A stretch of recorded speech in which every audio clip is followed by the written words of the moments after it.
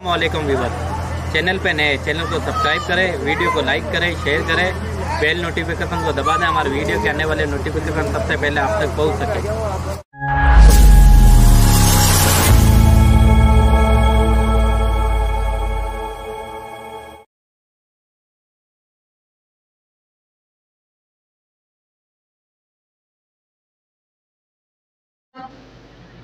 اللہ تبارک و تعالیٰ نے اس رات کو بڑی مقدس بنا کر، بڑی محترم بنا کر امت کے گنہ گاروں کو معاف کرنا چاہا ہے۔ اور لیکن اللہ تعالیٰ اس رات میں بھی چار انسان ایسے ہیں جن کو اللہ معاف نہیں کرتا۔ چار شخص ایسے ہیں، بولو۔ ارے بولو، چار شخص ایسے ہیں جن کو اللہ معاف، اب خود کے اندر غور کر لینا۔ کہیں یہ میرے اندر تو بیماری نہیں پائی جا رہی۔ اگر یہ میرے اندر ہے تو اللہ کے یہاں مغفرت نہیں ہے۔ اگر آپ نے توبہ نہیں کی، اپنی زندگی کو نہیں پلٹا تو۔ تو سب سے پہلا انسان میرے اور آپ کے نبی نے فرمایا، شراب پینے والا۔ کون ہے؟ شراب پینے والا۔ رمضان میں بھی شراب کو نہیں چھوڑتا اور رمضان میں توبہ نہیں کرتا، آگے کی زندگی کے لیے استغفار نہیں کرتا، توبہ نہیں کرتا ہے۔ اللہ ایسے شرابی کی اس رات میں بھی مغفرت نہیں کرتا ہے۔ ارے شراب بہت بڑا جرم ہے۔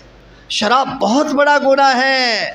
اگر کوئی اس مجلس میں ہے، اس مجمع میں کوئی بیٹھا ہوا ہے وہ کسی کو ظاہر کرنے کی ضرورت نہیں ہے۔ دل ہی دل میں رب کو پکار لے خدا کی قسم، وہ رب تمہارے دل کی صدا کو بھی جانتا ہے۔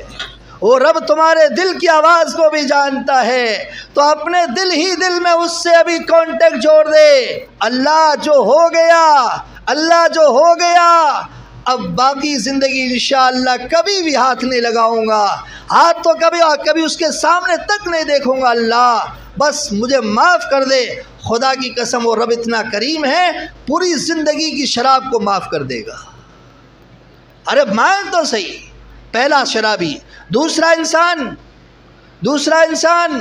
ماں باپ کو ستانے والا۔ ماں باپ کو تڑپانے والا۔ ماں باپ کو دکھ دینے والا۔ ماں باپ کو تکلیف دینے والا۔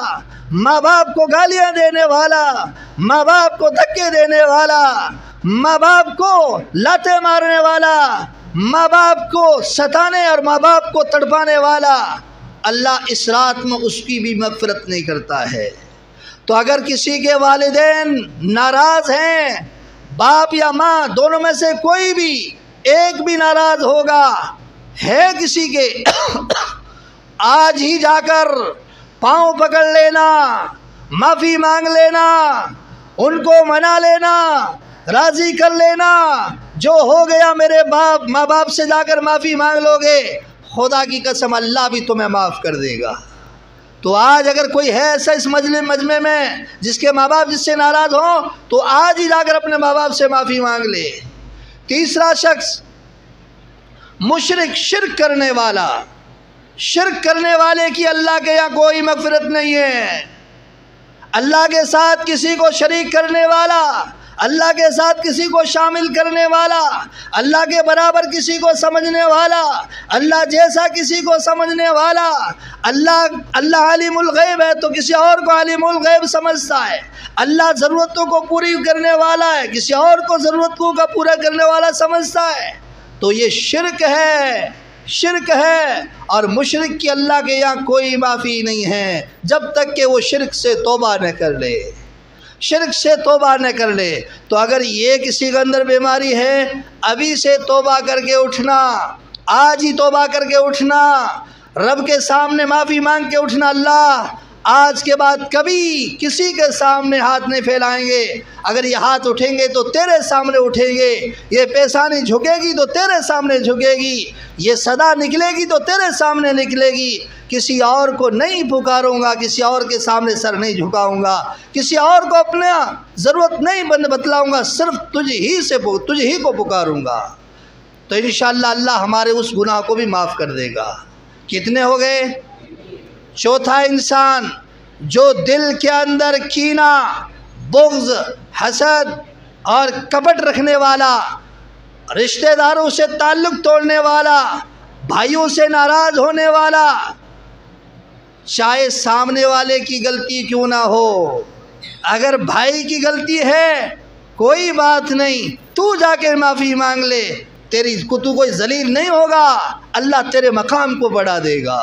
اللہ بھائی کے سامنے بھی تیری عزت بنا دے گا غلطی میری تھی پھر بھی میرے سامنے آیا معافی مانگنے کے لیے۔ بھائی کے سامنے معافی مانگنے میں شرم کرتا ہے دوست ناراض ہو جائے فوراً بھی, بھی اس کے سامنے معافی مانگ لیتا ہے وہاں شرم نہیں آتی ہے۔ بھائی کو منانے میں شرم آ رہی ہے اس کو۔ تو اس لیے بھائیوں سے ناراض رشتہ توڑنے والا، بیوی سے رشتہ توڑنے والا، ماں باپ سے رشتہ توڑنے والا، رشتہ دار سے رشتہ ناتا توڑنے والا، کسی کے بارے میں کینہ رکھنے والا، بغض رکھنے والا، حسد رکھنے والے کی اللہ اس رات میں بھی معافی نہیں کرتا ہے، مغفرت نہیں کرتا ہے۔ تو نیت کر کے انشاءاللہ ہم اپنے دلوں کو ہر ایک مسلمان کے بارے میں، ہر ایک بھائی کے بارے میں اپنے دل کو بالکل صاف و شفاف رکھیں گے، کسی کا دل میں کینہ نہیں رکھیں گے انشاءاللہ۔ اب